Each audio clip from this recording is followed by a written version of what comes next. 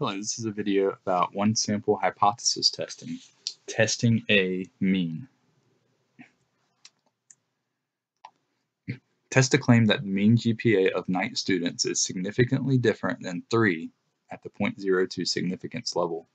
Based on a sample of 65 students, the sample mean GPA was 2.95 with a standard deviation of 0.05. So we're going to go through and run the hypothesis test here.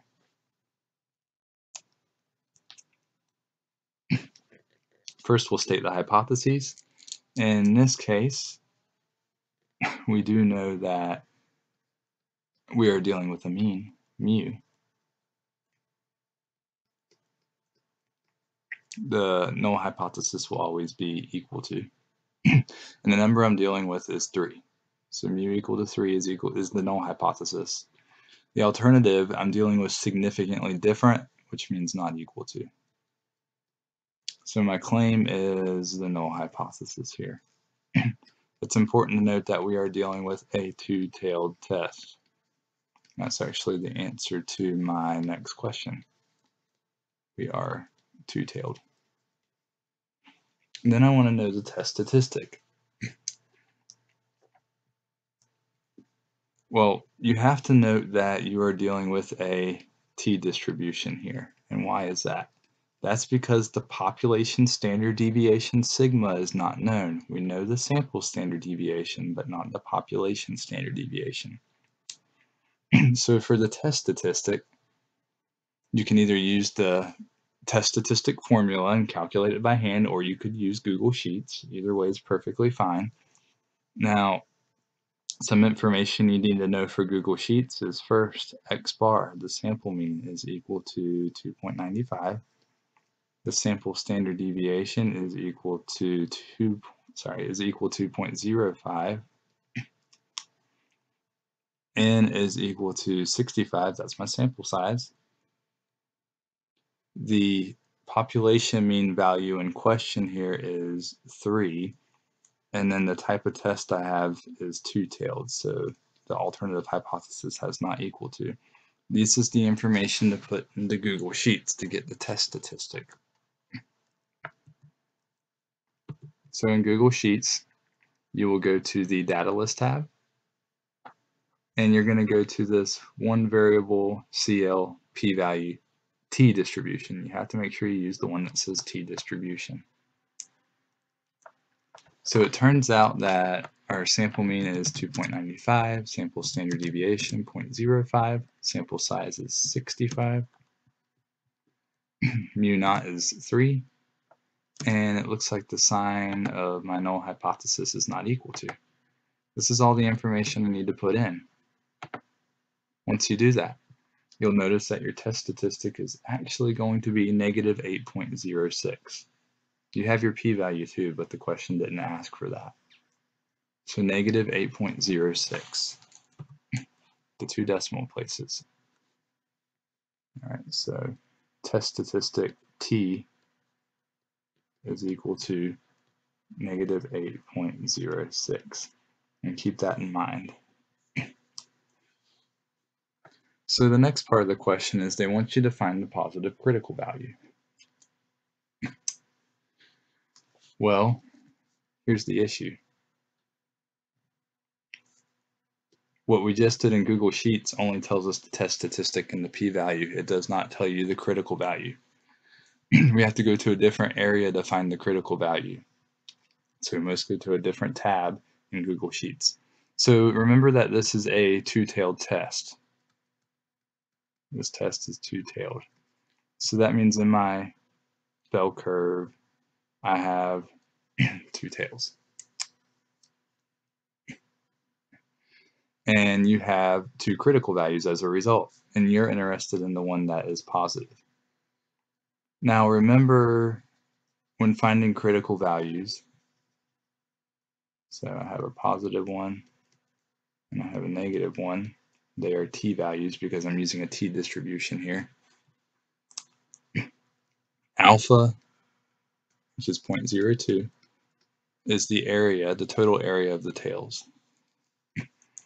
So since I have two tails, I need to split up 0.02 and divide it by 2.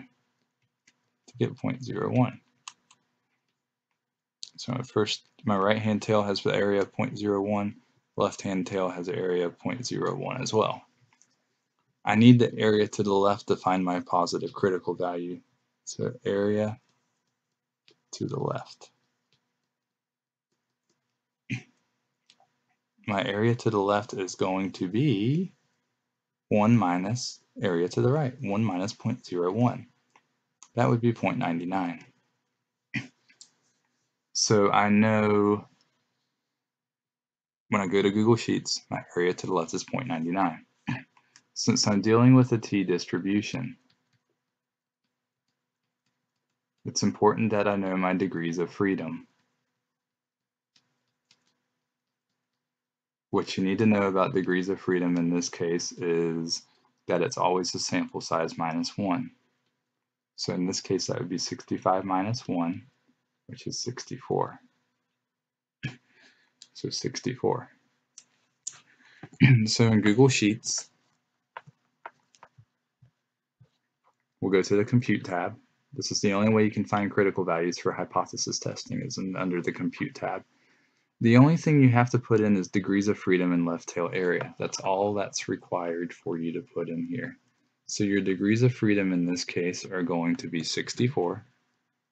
And then your left-tailed area is actually going to be 0.99.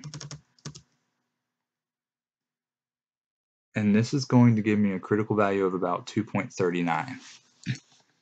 2.39. So 2.39 is my critical value. And my negative critical value would actually neg be negative 2.39. so now, based on this, I can actually come to a conclusion. I can actually come to a conclusion.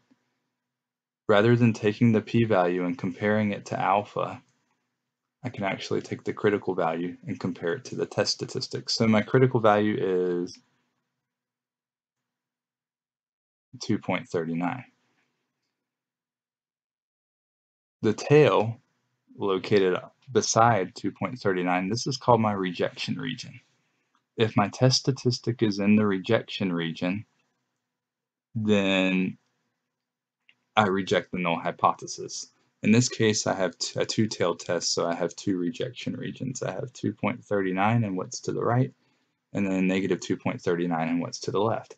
So what was the test statistic in this case? Well, recall that our test statistic was negative 8.06.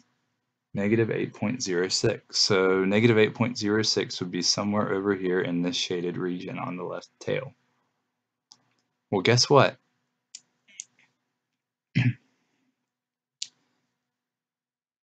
Since the test statistic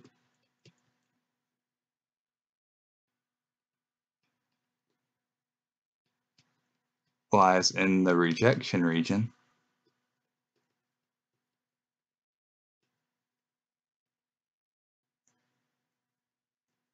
we reject the null hypothesis. We reject H naught. That's because once again the test statistic did lie within this this rejection region here, the critical region as it's called. All right, so we rejected H naught. So reject H naught. And remember our claim was down here in the alternative hypothesis. This was our claim. So since I rejected H naught, and the claim does not include equality. That puts me here in this first row. The conclusion is there is sufficient evidence to support the claim that, and then whatever your claim is. So in this case, there is sufficient evidence to support the claim that the mean GPA of night students is significantly different than 3. So that's how to conduct a hypothesis test when it requires you to find a critical value. Thanks for watching.